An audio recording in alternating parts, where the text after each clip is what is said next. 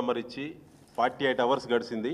నలభై ఎనిమిది గంటల్లో తెలంగాణ రాష్ట్ర వ్యాప్తంగా సన్న చిన్నకారు రైతులు దళిత గిరిజన రైతులు బలైన వర్గాల రైతులు ఇప్పటి వరకు నంబర్ ఆఫ్ కాల్స్ మూడు వేల ఐదు వందల అరవై రెండు కాల్స్ వచ్చినాయి ఈ నిమిషం వరకు.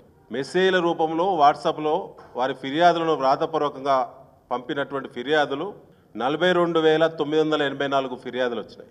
నలభై ఎనిమిది గంటల్లో మూడు వేల ఐదు వందల అరవై రెండు కాల్స్ నలభై రెండు వేల తొమ్మిది వందల ఎనభై నాలుగు మెసేజ్లు వివిధ పద్ధతిలో ఫిర్యాదులు అందినాయి తెలంగాణ భవన్కి. అంటే నలభై ఎనిమిది గంటల సమయంలో గంటకి ఎనిమిది వందల డెబ్బై ఐదు కంప్లైంట్స్ ఈ తెలంగాణ ప్రభుత్వం కాంగ్రెస్ పార్టీ ప్రభుత్వం రుణమాఫీ ఇష్యూలో అనేక కొర్రీస్ పెడతా ఉన్నది ఇబ్బందులు పెడతా ఉందని అనేక మంది రైతులు ఫిర్యాదు చేయడం జరిగింది. ఇప్పటి వరకు వచ్చినటువంటి ఫిర్యాదుల్లో కొన్ని హైలైట్స్ కొన్ని మాత్రమే ఇవాళ తెలంగాణ ప్రజల ముందు రైతుల ముందు మరొకసారి పెట్టదలుచుకున్నాం. ఈ ప్రభుత్వం యొక్క ఉద్దేశమే వదిలించుకోవాలని. హామీ ఇచ్చినాం కదా. బీఆర్ఎస్ గొంతెత్తి డిమాండ్ చేసింది రుణమాఫీ వెంటనే చేయాలి వంద రోజులు అయిపోతుంది అని చెప్పి బీఆర్ఎస్ గొంతుకు భయపడి రేవంత్ రెడ్డి గారు దేవుళ్ళ మీద ఒట్టుపెట్టి తప్పించుక తిరగలేని తప్పని పరిస్థితుల్లో మాత్రమే ఈ రుణమాఫీకి నిర్ణయం ముందుకు వచ్చిన విషయం అర్థమవుతా ఉన్నది. రేషన్ కార్డు ప్రామాణికం కాదన్నారు. ముఖ్యమంత్రి రేవంత్ రెడ్డి అన్నాడు వ్యవసాయ శాఖ మంత్రి గారు అన్నారు.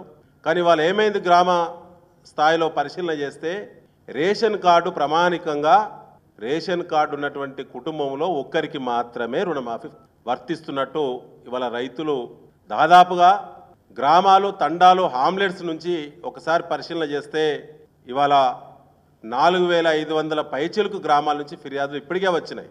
ఇంకా ఫిర్యాదుల సెంటర్ కొనసాగుతున్నది. క్షేత్రస్థాయి పరిశీలన బీఆర్ఎస్ పార్టీ ఏ స్థాయిలో చేస్తుందో ఈ రుణమాఫీ ముమ్మాటికి ప్రతి అరువులు అరు అర్హత ఉన్నటువంటి ప్రతి రైతుకు వర్తించాలని చెప్పి ఇవాళ వర్తించినటువంటి రైతుల పక్షాన నిలబడడానికి ముందుకు పోతుంది బీఆర్ఎస్ పార్టీ. ముఖ్యంగా మిత్రులారా ఇందులో ప్రధానంగా రేషన్ కార్డు ప్రామాణికం చేసుకోవడం ద్వారా లక్షలాది మంది రైతులు ఇవాళ నష్టపోతూ ఉన్నారు. ఆధార్ కార్డు పాస్బుక్ మీద ఉన్నటువంటి నంబర్ కానీ తర్వాత బ్యాంకు రుణం పొందినప్పుడు నమోదైనటువంటి నంబర్ కానీ తర్వాత ఆధార్ మీద ఒరిజినల్ ఆధార్ మీద నంబర్ కానీ మ్యాచ్ కావాలని చెప్పి అన్నప్పుడు ఎక్కడో ఒక దగ్గర నంబర్ తప్పు ఉంటే ఇది వ్యవసాయ రైతులకు సంబంధించిన అంశం. అక్షరాస్యులు ఉంటారు నిరక్షరాస్యులు ఉంటారు దాన్ని పరిగణలో తీసుకోకుండా ఇవాళ నంబర్ మ్యాచ్ కావాలంటే ఎక్కడైనా ఒక నంబర్ మిస్ అయినా మిస్టేక్ అయినా రుణమాఫీ వర్తించడం లేదు. ఆ తర్వాత పెళ్ళిగాని బిడ్డ అప్పుడు మేజర్ అయి ఉంటుంది ఇంట్లో. తర్వాత సపరేట్ ల్యాండ్ ఉంటుంది రుణం పొందుంటారు. పెళ్ళి చేసి అత్తగారింటికి పంపించిన తర్వాత ఇప్పుడు స్థానికత లేదు అనే పేరు మీద రేషన్ కార్డులో పేరు లేదనే పేరు మీద వారిని అనర్హులుగా చూపిస్తున్నారు. తర్వాత బ్యాంకు రుణం పొందిన్లు ఆధార్ కార్డు ఇప్పుడు ప- పరిశీలన చేస్తే మైనర్గా ఉన్నది కానీ అమ్మాయికి పెళ్ళై ఉన్నది. పెళ్ళయింది అత్తగారింటికి వెళ్ళిపోయింది కానీ ఆధార్ కార్డు పరిశీలించి మైనర్ కాబట్టి రుణమాఫీ వర్తించదని చెప్పి వారిని ఇంటికి పంపిస్తున్నారు.